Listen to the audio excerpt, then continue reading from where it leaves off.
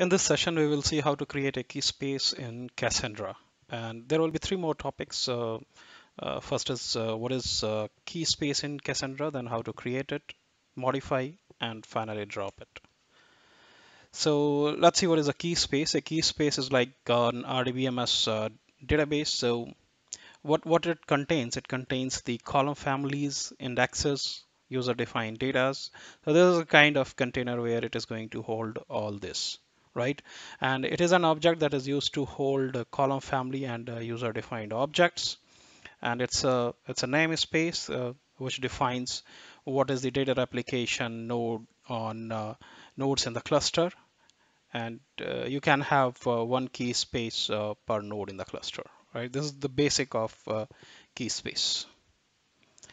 When you create a key space, there is an important term which comes into the picture is replication.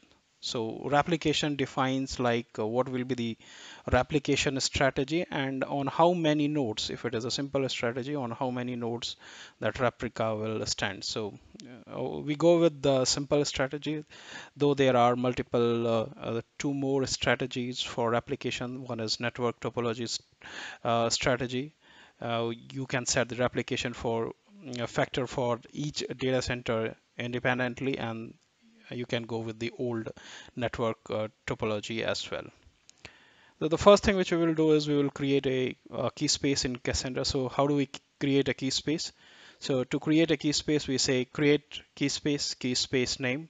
Then we say the replication, the class will be, we we shared the three classes so we will go with the simple class then replication uh, factor on how many nodes do you want this to be configured so uh, we will go with the one, two, or three, whatever you like, then we will modify the replication factor. Then we will try to alter uh, the key space which we have created. Once it is done, uh, we will see if the changes has uh, uh appeared or then finally we will drop the key space, right? So let's start with the small demo. It's a very small demo. Uh, I'm already logged into Cassandra and I'm going to log into C SQLSH. Sorry. C QLSH. This is the command line for the Cassandra.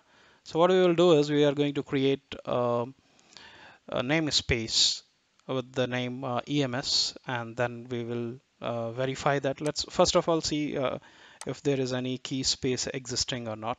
If it is there, we'll drop that. Okay.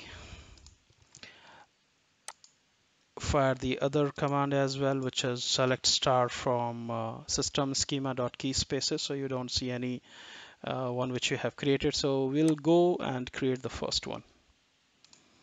So it is like create key space, key space name with replication. Then we have set a simple strategy and the replication factor we have given three.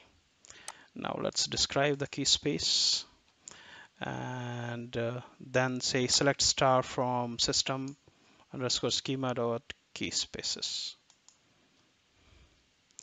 So you can see uh, there is uh, EMS key space which is created Durable writes by default it is true. If you want, you can turn it off in your simple strategy. And replication factor is 3. We'll try one more uh, demo wherein we will alter this from the replication factor 3 to 1 and then we will verify it. Let's execute it. So we just said uh, alter key space key space name with replication and replication factor is modified from 3 to 1. Let's verify it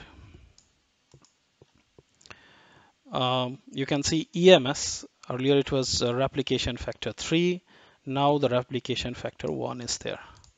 And finally in this demo let's drop the key space and let's verify it. We have dropped the key space. Now let's verify it. So EMS doesn't exist uh, this is a very basic um, demo and uh, this is how we, what is a key space, how to create, alter and drop. I hope it is going to help and uh, thanks for watching.